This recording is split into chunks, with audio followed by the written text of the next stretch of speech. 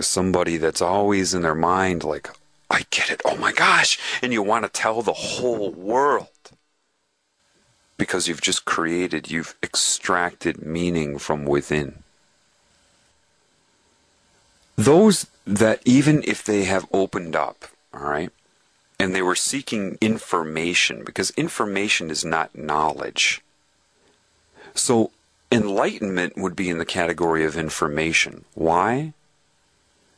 Because as it's sold, as it ends up being, all you're doing is changing your perception of reality, just seeing other templates of symbolic expression. There are no answers there if you're depending upon anything you experience to give you those answers. No symbol means anything until you give it meaning.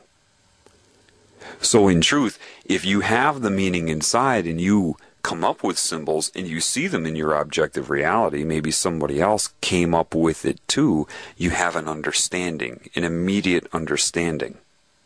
Sometimes that can be faked or replicated. Somebody's been indoctrinated into a system where they had to learn specific meanings to symbols.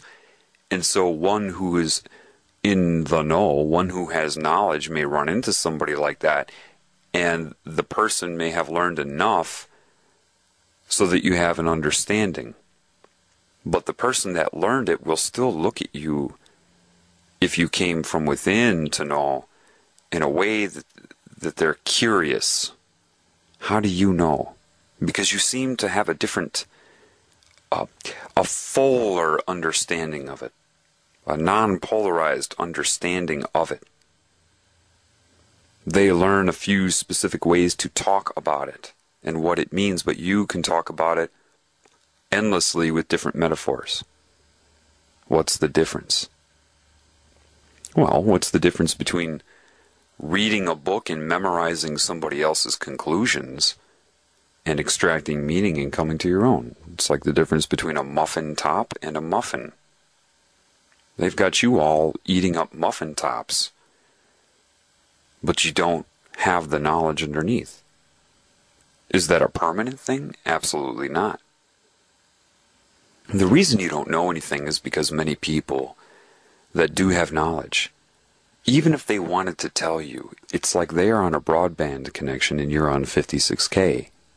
There is so much information. And unfortunately, as it is right now, the general population has no idea. They look at a symbol. Maybe they're taught a symbol. Either they really don't have any understanding of it, or it's a very limited understanding. If you have knowledge inside of you, you could sit there and talk about that one symbol all day. There's more than one meaning attached to symbols. Like I told you, a deer in the woods can mean more than one thing by stomping their hoof. If you seek the symbol, the muffin top, you will never have the whole muffin. And this is what people do when they try to seek videos and books and all. They're looking for muffin tops. They're looking for the end result. Therefore, you are dependent upon the meaning that is given to you. So, somebody in the know, if they're talking to somebody that isn't in the know, can be very difficult. Why? Well, a very naive thing to say or if somebody's trying to manipulate you, control your mind, they'll say this The truth is an easy thing to say. And anybody who speaks for a long time to you, they're trying to manipulate you. Now, that's a very naive thing to say. Yes, somebody who depends upon a lot of words, really trying to control what you're thinking, could very well be trying to manipulate you. But if you depend upon length, of speech, and that's where your perception lies, you wouldn't be able to tell anyway. If someone's trying to manipulate you, you should pick up on that within seconds, regardless of what they're saying. The truth is something easy to say. If one person in the know is speaking to another person in the know, in other words, you've both reached the same conclusions and you know it. You know when other people know. You just do. That's why they don't say anything other than that. You know when other people know. And you say, well, that's ambiguous. And that's ambiguous to you.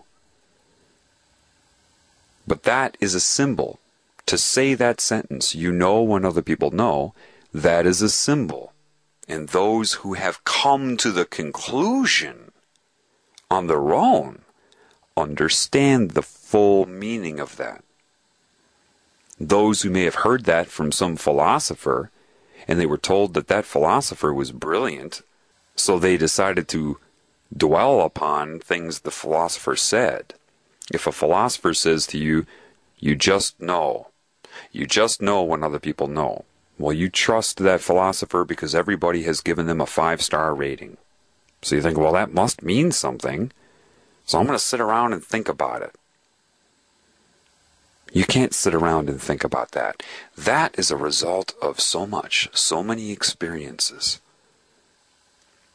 So, if I say you just know when other people know, you don't have to sit around and assess and calculate in your mind and think of behavioral patterns or they said this and they said that. I'm going to put two and two together and formulate an assessment of them and what their intentions are. If you are doing that, that is robotic. It's nothing against you. If I were against you, I wouldn't be trying to help. It's the conclusion that matters.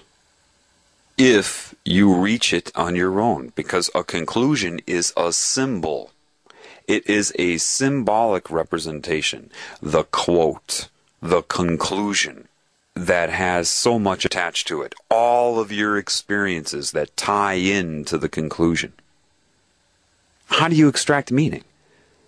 Well, perhaps you have an experience. It could be a social experience, it could be anything. And that experience is finished and that means nothing to you. Then you have another experience and you see that it's different, but there's something similar to that other experience. You're kind of like, hmm. And then you have a third experience in your life, and it's really similar now, all three of them. Then you have a fourth experience that solidifies the similarity and prompts a question. It is the fourth experience that prompted you to ask the question, but it required the other three preceding it.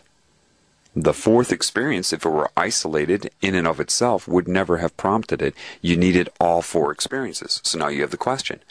And maybe you have a whole other series of experiences that are happening so that you can extract meaning to address the question.